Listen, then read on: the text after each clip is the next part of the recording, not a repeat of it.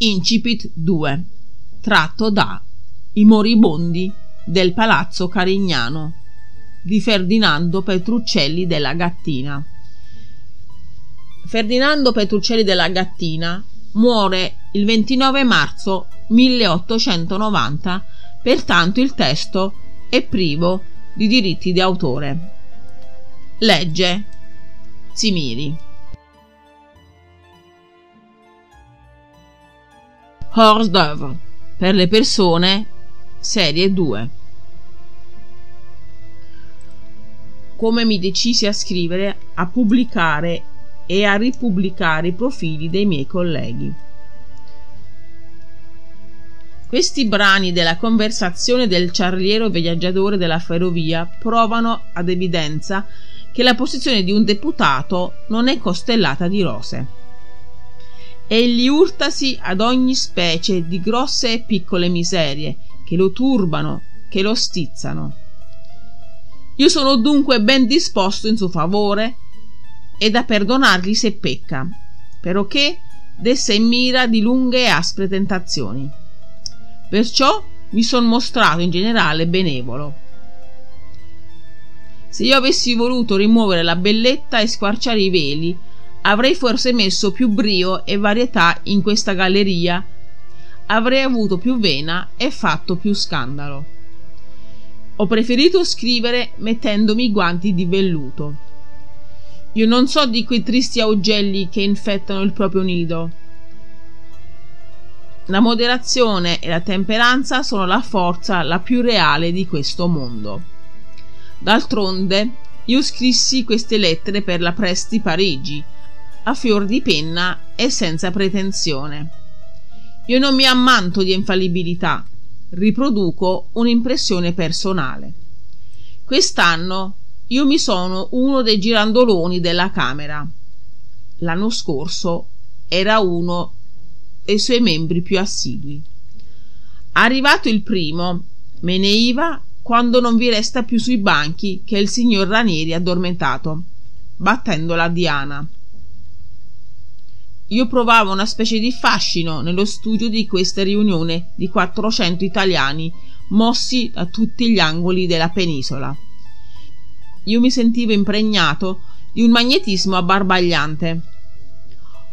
Ora, come gli obietti che si discutono alla Camera non sono sempre né solazzevoli né interessanti, io riportavo la forza del mio spirito sull'analisi degli uomini.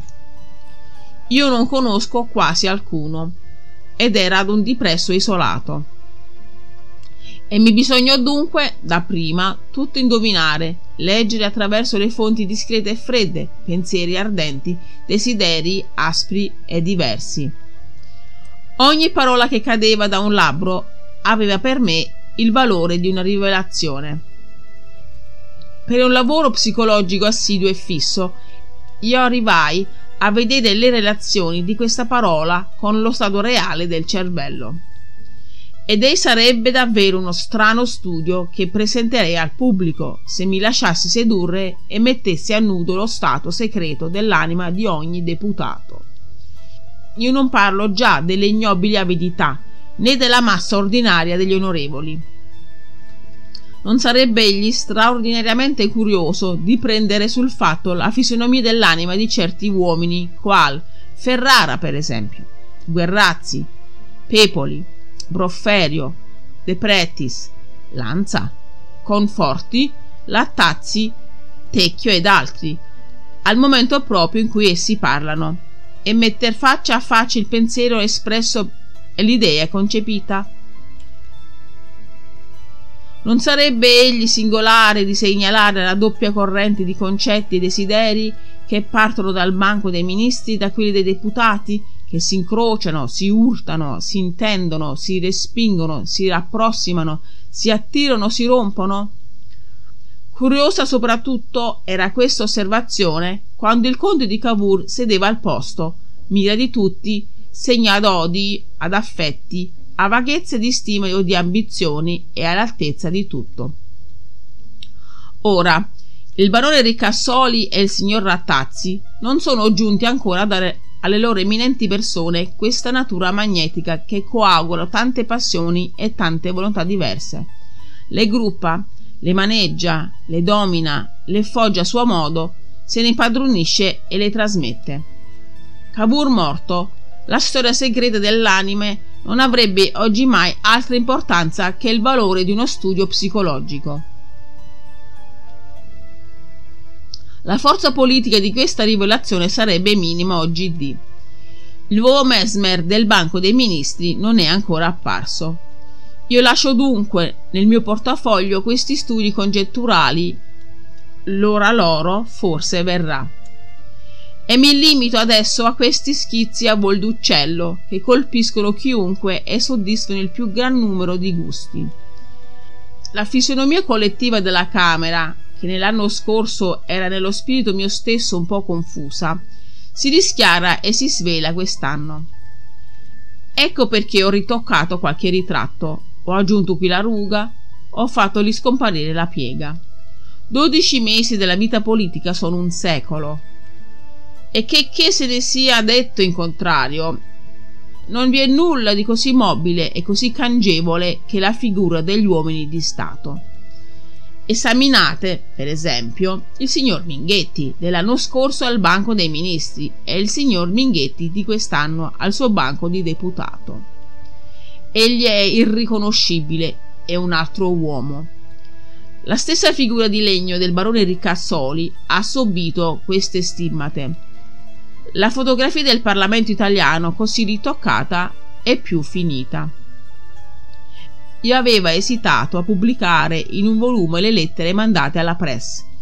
Io credeva da prima che questo primo Parlamento italiano fosse un Parlamento di occasione, il quale avrebbe compiuto la sua missione di proclamare l'Italia una, spedita la bisogna la più urgente, e sarebbe poi ritornato a ritemprarsi al contatto dei suoi elettori.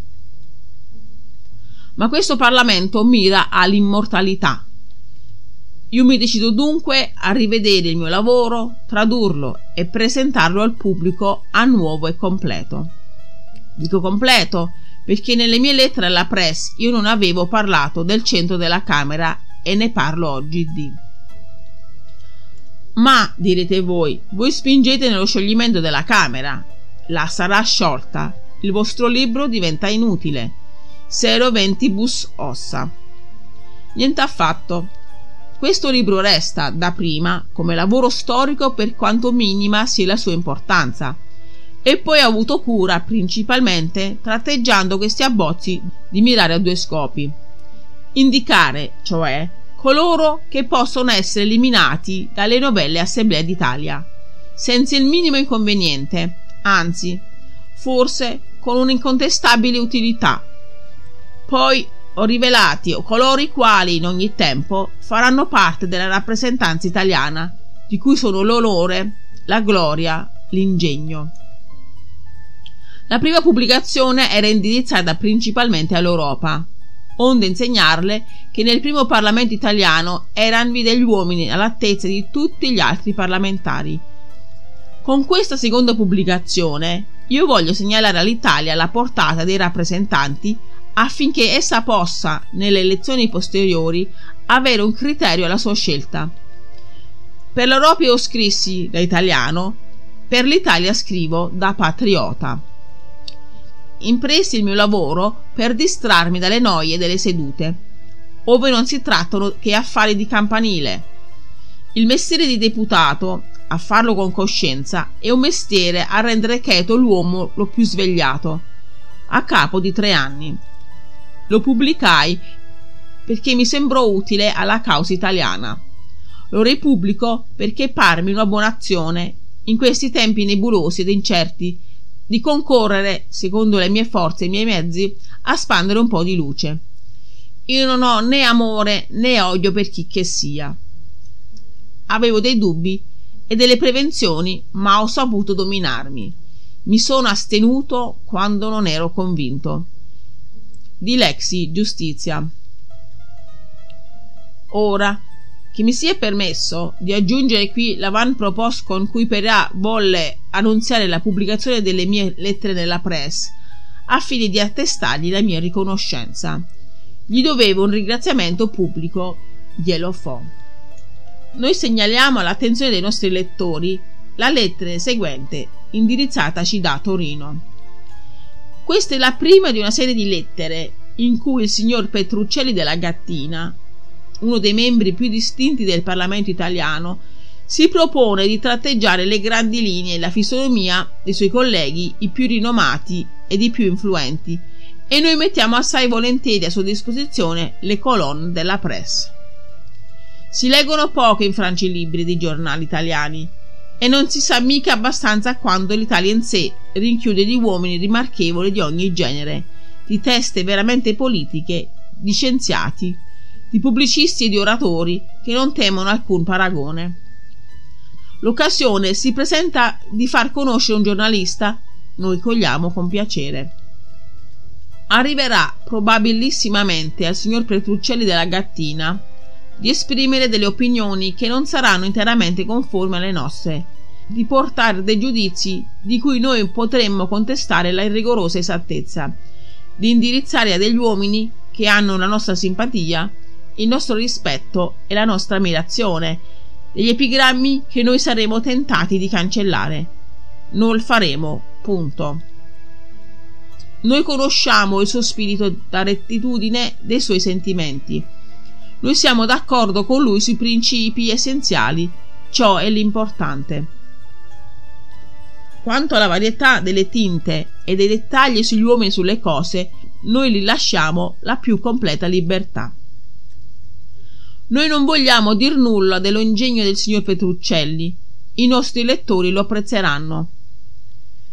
Egli ci è impossibile non di meno di non esprimere lo stupore che noi proviamo sempre, vedendo uno straniero scrivere la nostra lingua con quella naturalezza, con quella chiarezza e facilità sì rara anche fra noi. Sotto questo rapporto ancora gli italiani sono eccezionalmente e meravigliosamente dotati. Basta per convincersene di leggere le lettere dell'abate Galeani, i dispacci del conte di Cavour, le ultime opere del Ferrari, numerosi lavori di Mazzini e parecchi scritti del nostro amico Bianchi Giovini, questo pubblicista eminente che la malattia ha disgraziatamente forzato di sospendere la pubblicazione del suo giornale, ove egli ha così valorosamente combattuto e reso dei così grandi servigi alla causa d'Italia e della libertà religiosa. Firmato Peirat. Fine Incipit 2. Seguirà il capitolo 1.